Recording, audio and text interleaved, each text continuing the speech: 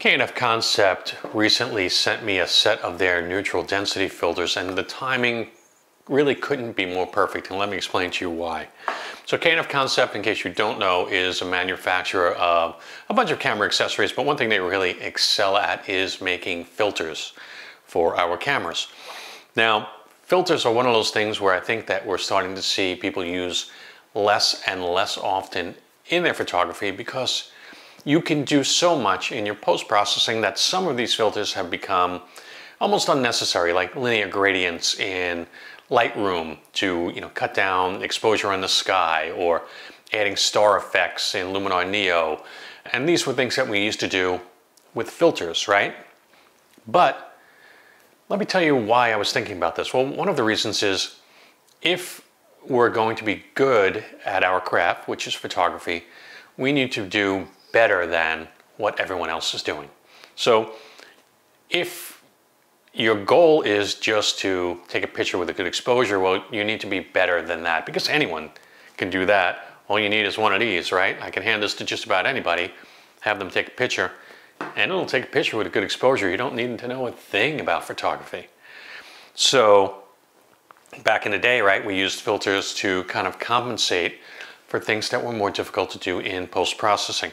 So this set of neutral density filters that they sent me out can create some effects that are difficult or maybe even impossible to do with a cell phone, right? So this allows us to be better than what the average person can do, and that should be our goal as photographers. So in this set, there is a magnetic adapter, and it's installed on my lens right here. It just screws into place. And then from there, it comes with a set of four neutral density filters. And the first one is a graduated neutral density filter. It's a GND8, which cuts three stops of light in that shaded part of the top, okay? And that would basically lower the exposure of your skies, right? And again, very easy to do in post, but if you're doing it in camera, that's even better, right? Uh, on top of that, it comes with also, uh, I gotta just check this. Okay, this is the ND8, which cuts out three stops of light.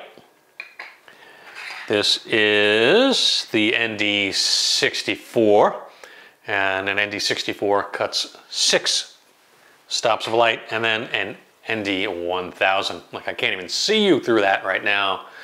Cuts out 10 stack, 10 stops of light. And one of the cool things is they are magnetic, so that's it. It's now installed. So now I have an ND 1000 on here, cuts out 10 stops of light. Now on top of that though, I could stack the ND64. So now I have an ND 1064, which would cut 16 stops of light. And you can continue to stack them, of course. And because they're super thin, they don't cause any vignetting and they're not seen in the edges of your photos, which is very nice. And the lens cap will still work and the lens hood and things like that. So what can we do with these that we couldn't do with this? Well, basically, when we remove light, we're creating longer shutter speeds.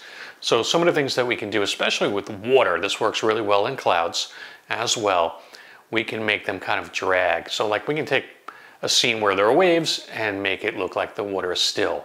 Or we could take a scene where there are clouds and make them kind of look like just like a, like there's soft, uh, straight movement, almost brushed. Same with, uh, again, like a waterfall, okay? Take a waterfall, but make the water look silky smooth. So that, that's some of the things that you can do with these ND filters. Very hard to do in post, very hard to do with the phone.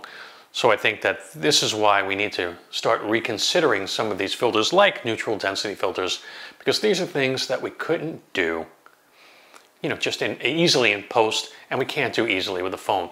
It's putting a set of tools in our toolbox as photographers that make us a little bit better than what the average person can do. All right, so let's take a look at some sample photos. Okay, so in case you're into the uh, technical stuff on this kit, it is a 5-in-1 filter kit. It includes the magnetic adapter ring, the ND filter, the pouch, the graduated neutral density 8, the ND8, ND64, and ND1000, plus the magnetic ring. So, yep, so that's good. A one second swap, obviously, you can do it super quick and you can stack or remove filters very quickly because it's magnetic based. 28 multi-coater, multi-layer coatings.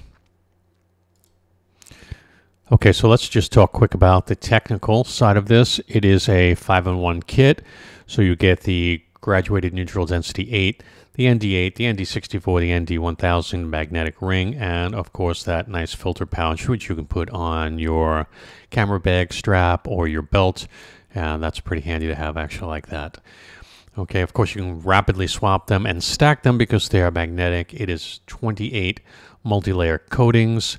So it is premium optical glass.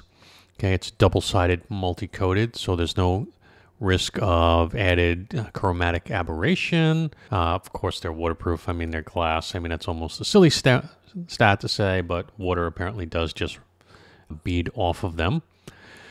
So, uh, and aside from that, they're you know super slim. So they're 1.9 millimeter to 3.33 millimeter. So you should have no vignetting uh, all the way down to 16 millimeter. So that's also very nice to know. And they are priced at that kit is 161.99 and I also have a coupon code that you can use to save you 10%. Coupon code is ShutterSpeak. Now let's look at some sample images. Okay, so some sample images and you see here at sunrise we have that nice smooth water effect. We have a lot of softness in the moving clouds right here, almost like they were painted with a brush. And again, just the, the nice smooth water. And we get that nice beam of sun coming up just over the horizon there. So, and again, you can see almost like a fog from the waves coming in right over here along these rocks. So that's kind of the effect that you're going to get in with a, with a neutral density filter. And again, it's just it's something that you can't do with a phone, right? And that's got to be the goal. So let's take a look at the next image. And here we have a black and white image of a pier. And now it's important here to note this is a 240 second exposure at f11, uh, ISO 64. And there were people walking up and down this pier, but they are gone from this image because they weren't in the exposure long enough really to be noticed. And you can see there was a boat actually that came in over here, and that boat did hang out a little bit. And of course, I can easily clean this up in Lightroom, but I want you to see that the remnants of that over there. And maybe you might be able to see a little bit over here. Maybe there was a person that was standing there for a little bit over here. They probably were there for a bit. And, uh, but basically, you can make a place look empty, and that's kind of a cool, fun effect that you can do with these ND filters. Right, here's uh, another shot of that same pier. Again, people walking up and down this pier constantly, but they're not there. You do see the boat over here a little bit. That boat is, it was in frame for quite a while. And again, 240 seconds. And look at the smoothness of the water here. And this, check out this bird who hung out long enough to actually get a proper exposure, just hanging out on that rock with me. Right. And again, you see that just that, that smooth silkiness, almost fog like appearance of the water, you know, that just looks almost haunting in a way. Right. And again, you can see some people that were here, right, that did hang out. There's a bird that kind of hung out long enough. And, you know, if we wanted to, we could clean this up and make it look like no one was here if we wanted to, or we could kind of leave that in there to give the ghosting effect of people coming back and forth. You know, it's just kind of a creative choice.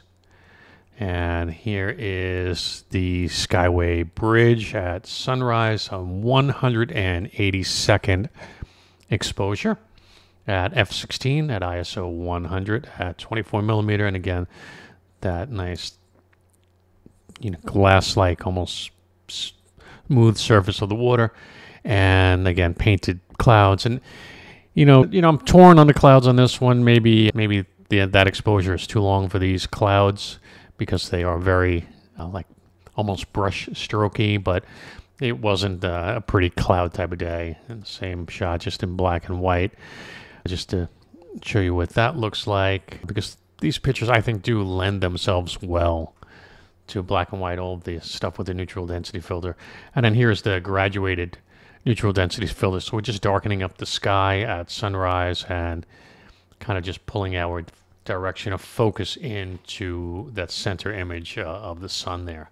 So, and you can see that the, we can actually see vehicles on the bridge on this one, whereas if we go back to here, you'll see that we don't see a single vehicle on the bridge, although we do see streaks of lights from the cars. They, I, I assure you, there were cars constantly going up and down this bridge, but again, they're they're invisible to us in you know in this exposure because it's just so long. And again, just something that you can do with these ND filters that you know somebody can't do with a cell phone. So just a little little extra fun that that we can have in our craft. Okay, so I hope that you have found some things in this video useful. If you did, I would appreciate you please considering subscribing. It's the best way that you can say thank you to me. And of course, it's free. And I, I hope that this video made you think a little bit about maybe going back to some of the basics of photography to try and do things that are new in, or maybe things that are old but in a new way with our new fancy digital mirrorless cameras, right? And just getting out there with things that are just different from what everyone else can do. And I think that rethinking filters is a great step towards that. And of course, editing style comes into play and direction of light and leading lines and composition and all those things. But it can't be just good exposure. It's got to be more than that. And I think that that's where filters come back into play. I would love to hear your thoughts on this subject. So let me know in the comments what your feelings are in terms of filters and, you know, like I said, bringing back something more to the table than just good exposure. I'd love to hear your thoughts about it. And if you follow, you know, I usually answer. So uh, I always appreciate hearing from you guys and girls. Thanks for watching. See you again next time, YouTube. Don't forget 10% coupon on these. It'll be down in the video description if you want to pick up some filters from K&F. Okay, so hey, that's it. Thanks. Bye-bye, YouTube.